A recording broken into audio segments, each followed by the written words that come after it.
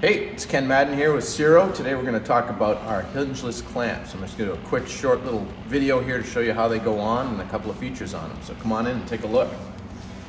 First of all, as you see there's no pin. They come apart like this. They've got a finger that slides in the slot there, just like this. Beautifully made.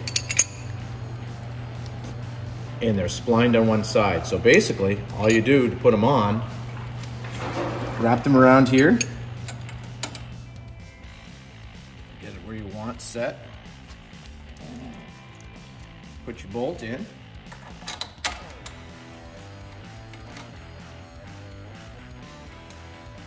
And this works with our our clevises, our pegs, but it'll also work with just about any other peg. But you need to use our clevis for it. And that's it. It's on, you're done. You can adjust it however you want.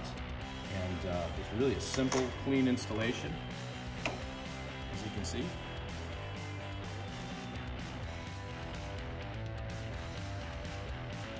that's all there is to it. So, thanks for watching today. Appreciate you taking a look, and uh, you know, check out our other videos. If you have any other questions about our product, go to ciro3d.com and uh, you know, look for more stuff coming in the future.